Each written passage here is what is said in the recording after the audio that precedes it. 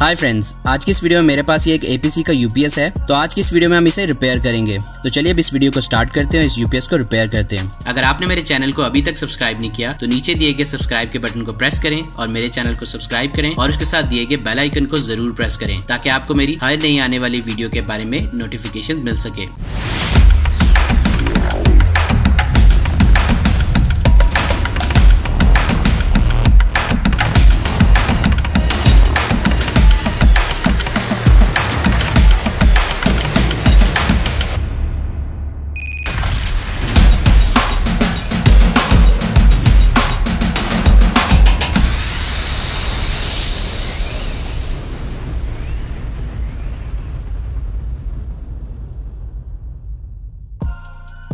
इस यूपीएस की प्रॉब्लम यह है कि इसकी बैटरी वायर्स को रॉन्ग पोलैरिटी में लगा दिया था, जिसकी वजह से इसमें शॉर्ट सर्किट हो गया था। तो चलिए अब इसको खोलते हैं और देखते हैं कि इसमें कौन से कंपोनेंट खराब हो चुके हैं।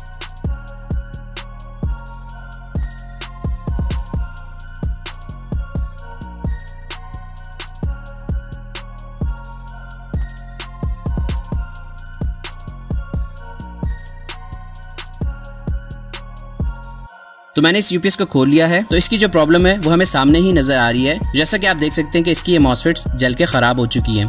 तो जैसा कि आप देख रहे हैं कि ये एक एज ब्रिज यूपीएस है और इसमें मॉसफेट्स के चार पेयर लगे हुए हैं। तो चलिए अब हम इसकी मॉसफेट्स को चेंज कर लेते हैं।